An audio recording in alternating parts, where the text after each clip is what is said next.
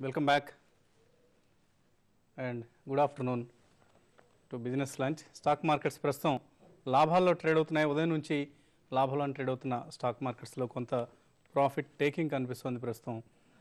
సెన్సెక్స్ ప్రస్తుతం నూట ముప్పై మూడు పాయింట్ల లాభంతో అలాగే నిఫ్టీ ముప్పై తొమ్మిది పాయింట్ల లాభంతో five thousand one ninety five points దగ్గర ట్రేడ్ అవుతుంది. చాలాసేపు ట్రేడింగ్లో అత్యధిక భాగం ఫిఫ్టీ టూ హండ్రెడ్ లెవెల్కి పైనే ట్రేడ్ అయింది నిఫ్టీ కొద్దిసేపటి నుంచే ఫిఫ్టీ టూ హండ్రెడ్ మార్క్ దిగువన ట్రేడ్ అవుతోంది. సో రియల్ ఎస్టేట్ స్టాక్స్ ఇవాళ మేజర్గా లాభపడిన సెక్టర్స్లో రియల్ ఎస్టేట్ ఉంది. అలాగే ఇతర లార్జ్ క్యాప్ స్టాక్స్లో Mahindra and Mahindra Tata Motors Unitech Jaiprakash Associates Bharti tele ఇవన్నీ సుమారుగా రెండు నుంచి మూడు శాతం లాభాలతో ట్రేడ్ అవుతున్నాయి.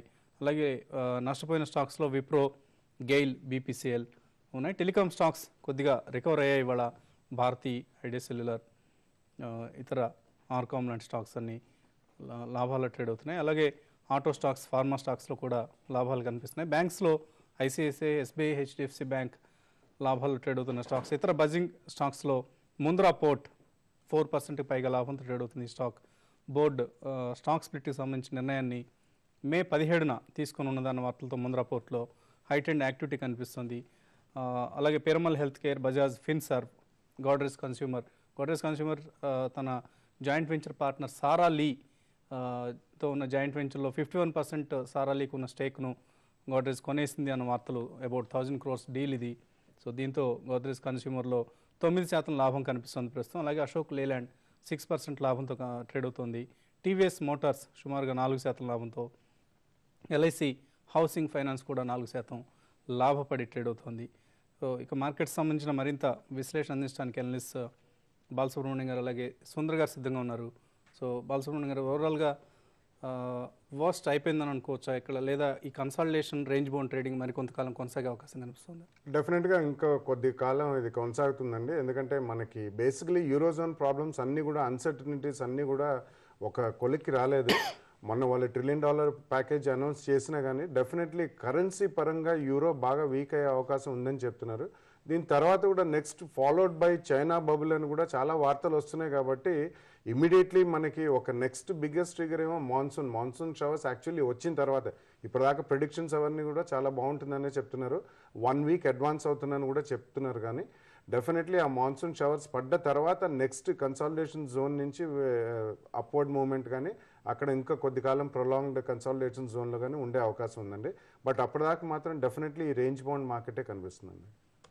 ఓకే అండి. అలాగే బి గ్రూప్ స్టాక్స్లో గెయినర్స్ను ఒకసారి గమనిస్తే Swarna securities Shri Rayalaseema high strength Virinchi technologies Nova iron California software అలాగే Excel telecom Venky's India of course Steelco strips లాంటి కంపెనీస్ కూడా ఉన్నాయి. బట్ మెజారిటీ ఈ లిస్ట్ ఎందుకు చదివారంటే most of most of them are Hyderabad based Andhra Pradesh based companies so సత్తా అంటారు దీన్ని. So జోదం జరుగుతోంది చాలా స్క్రిప్ట్స్లో. ఇటువంటి టైంలో చాలా జాగ్రత్తగా ఉండాలి. మిడ్ క్యాప్ స్మాల్ క్యాప్ స్టాక్స్లో హడావుడిగా ట్వంటీ పర్సెంట్ పెరిగింది థర్టీ పర్సెంట్ పెరిగింది అన్న ఉద్దేశంతో. ఇంకా పెరగ పెరగబోతోంది అన్న రూమర్స్ కానీ కాల్స్ కానీ వస్తుంటాయి ఎస్ఎంఎస్ వస్తూ ఉంటాయి. సో చాలా జాగ్రత్తగా ఉండాలి ఇటువంటి స్టాక్స్తో ఫండమెంటల్గా స్ట్రాంగ్గా లేని కంపెనీస్ జోలికి మాత్రం వెళ్ళొద్దు. Otherwise markets are in good shape. So Sundar గారు ఫిఫ్టీ టూ హండ్రెడ్ మార్నింగ్ మీరు అన్నారు. ఫిఫ్టీ టూ హండ్రెడ్ కంటే పైన ట్రేడ్ అవుతున్నంతసేపు మార్కెట్స్కి ఎటువంటి ప్రమాదం లేదని. కానీ ప్రస్తుతం కొంచెం దిగువన ట్రేడ్ అవుతుంది. ఎటువంటి క్లోజింగ్ని ఎక్స్పెక్ట్ చేస్తున్నారు మీరు? క్లోజింగ్ చూస్తే డెఫినెట్గా ఇంకా అప్పుడే మనం చెప్పలేకుండా ఉన్నామండి. ఎందుకంటే ఫైవ్ టూ పైన చాలాసేపు ట్రేడ్ అయ్యి దాని కిందే ఉందన్నమాట.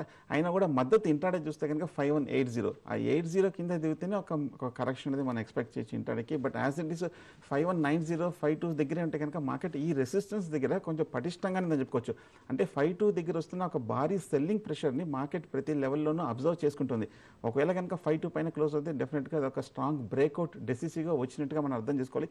ఫైవ్ టూ పైన క్లోజ్ అవ్వకుండా ఫైవ్ టూ కిందే క్లోజ్ అవుతే కనుక ఇంకొక టూ త్రీ డేస్ కన్సాలిడేషన్ కూడా మనం ఎక్స్పెక్ట్ చేయొచ్చు. మార్కెట్ చూస్తే కనుక లాస్ట్ వన్ వీక్లో పూర్తిగా global clues American and European markets మీదే ఆధారపడుతున్నట్టుగా కనిపిస్తుంది. బహుశా అక్కడ కూడా మేజర్ ఇష్యూ uh, ఉంది కాబట్టి అది కొంచెం తేలే వరకు ఈ కన్సాలిడేషన్ వచ్చే అవకాశం ఉంది. సో ఫైవ్ టు క్లోజింగ్ ఉంటే కనుక అంటే మనం అరగంట ముందే మనకి తెలిసిపోతుంది త్రీ ఓ క్లాక్లో ఫైవ్ టు పైన క్లోజ్ అయితే కనుక డెఫినెట్గా మార్కెట్ పాజిటివే ఓకే అండి. సో ప్రస్తుతం ఫైవ్ వన్ నైన్ త్రీ దగ్గర ట్రేడ్ అవుతుంది నిఫ్టీ. ముప్పై ఆరు పాయింట్ల లాభంతో. అలాగే రిలయన్స్ లాంటి ఫ్రంట్ లైన్ స్టాక్స్లో కొంత తిరిగి వీక్ అయిన సూచనలు కనిపిస్తున్నాయి. మార్నింగ్ వరకు టెన్ ఎయిటీ ఫైవ్ దగ్గర స్ట్రాంగ్గా ట్రేడ్ అయింది. రిలయన్స్ గత కొద్దిసేపు నుంచి టెన్ సెవెంటీ నైన్ ఎయిటీ లెవెల్లో ట్రేడ్ అవుతుంది. ప్రస్తుతం కాలర్ కందుకూరు నుంచి శ్రీనివాసులు లైన్లో ఉన్నారు. శ్రీనివాసులు గారు. గుడ్ ఆఫ్టర్నూన్ అండి. గుడ్ ఆఫ్టర్నూన్ అండి. సార్ బాలసుబ్రహ్మణ్యం గారు power stocks Adani power JSW